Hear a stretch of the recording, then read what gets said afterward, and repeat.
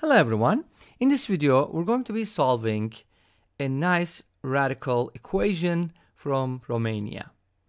We have 1 over square root of x plus 1 over square root of y equals 1 over square root of 20. And we're going to be looking for integer solutions.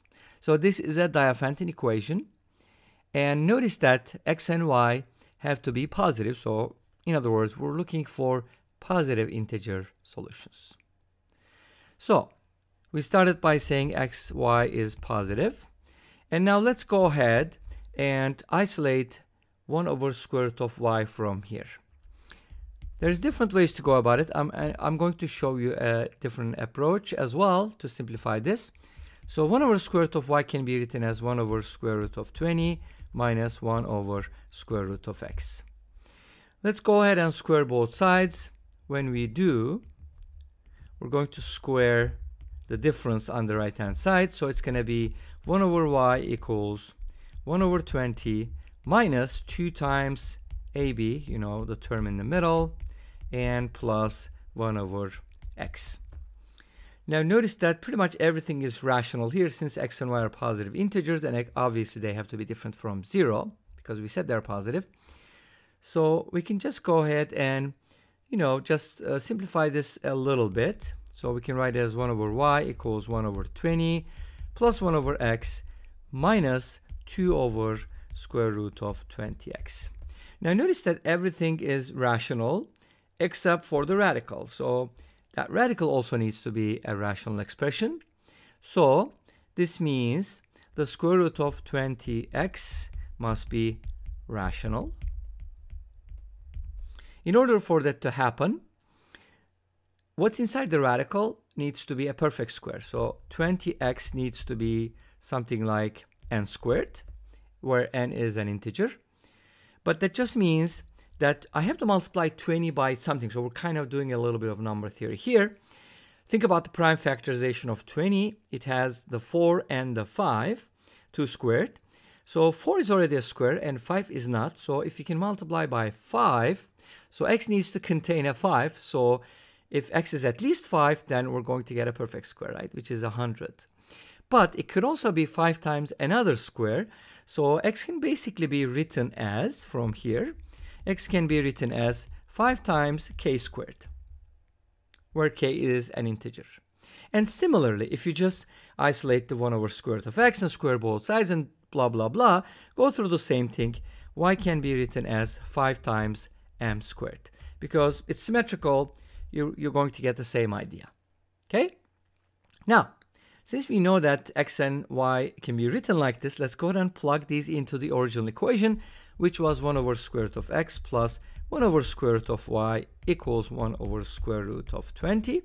Now, if you replace x with 5k squared, obviously you can just choose k and m to be positive in this case. It doesn't really matter because you're going to square them to find x anyways. So when you square root it, if k is positive and m is positive, then you're going to get something like this. 1 over k root 5 plus 1 over m root 5 equals 1 over square root of 20. Obviously, k and m have to be positive because if they're not, then you're going to get a negative expression on the left-hand side. Well, if k and m are negative, then it's going to be the same thing. But anyways, okay, I'm confusing myself here, so don't worry about it. So this is really nice because we can basically take out a square root of 5, or uh, should I say 1 over square root of 5. So let's go ahead and do this. We can take out 1 over square root of 5. That's going to give me 1 over k plus 1 over m. And here I can write this as 1 over square root of 5 times 1 over 2 because square root of 20 can be written as square root of 4 times square root of 5 and that is 2 times the square root of 5. Awesome. So now we can go ahead and cancel these out and we end up with a very simple very nice equation. 1 over k plus 1 over m equals 1 half. Obviously, this equation is, you know, interesting in and of itself, but uh, we're going to, you know, just um, back substitute to find the answers. So at this point, you can just go ahead and isolate one of the variables. For example, you can isolate uh, 1 over m, and this is going to be 1 half minus 1 over k. This can be written as um, k minus 2 over I'm going to erase that, it just bugs me.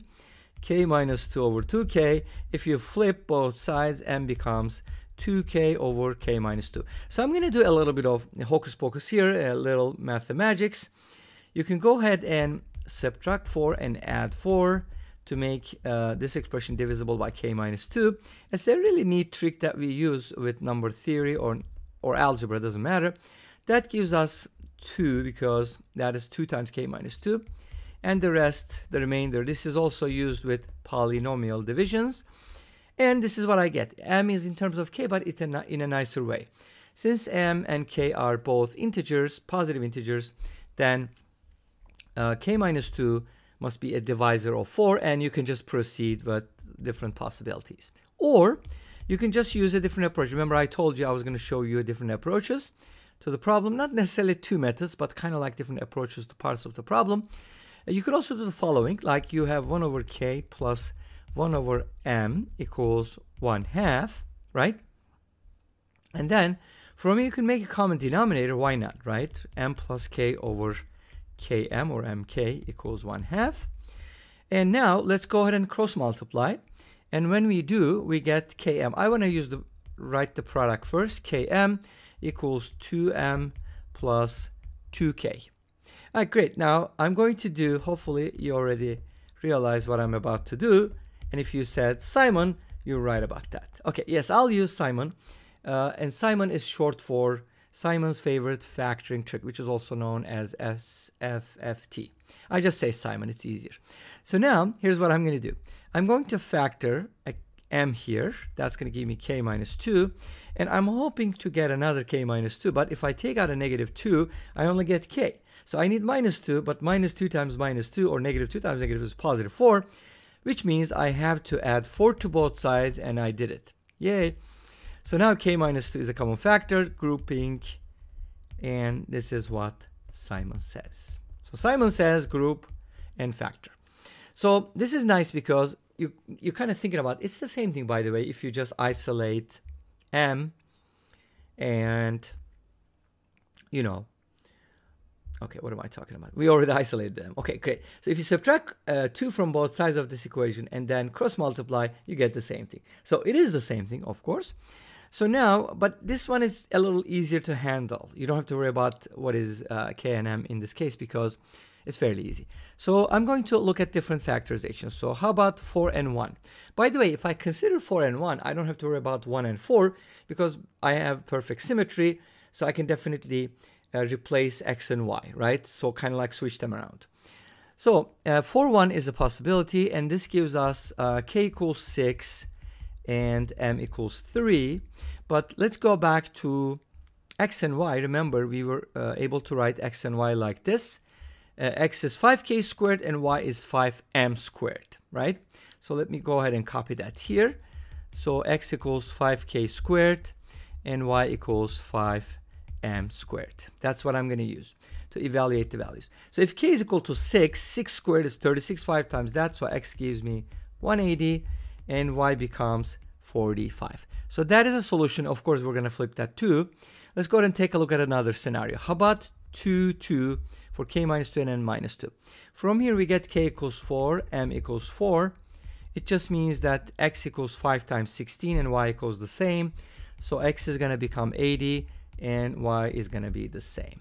So we, are kind of getting these and they're not the only solutions because we're going to look at other cases as well.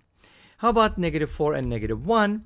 If k minus 2 is negative 4, that just indicates k is negative 2, but you know that's not going to work. If we have negative 2 and negative 2, that means k is 0. That's not going to work either, because if k is 0, x is 0, uh-oh, that's a no-no. You can't do it. So those are the possibilities. Let's go ahead and write our solutions as ordered pairs. We got 180, comma 45, and of course, we can flip this and write 145 comma 180 and of course 80 comma 80 is perfectly symmetrical. And this brings us to the end of this video. Thank you for watching. I hope you enjoyed it. Please let me know. Don't forget to comment like and subscribe. I'll see you tomorrow with another video. Until then be safe take care and bye bye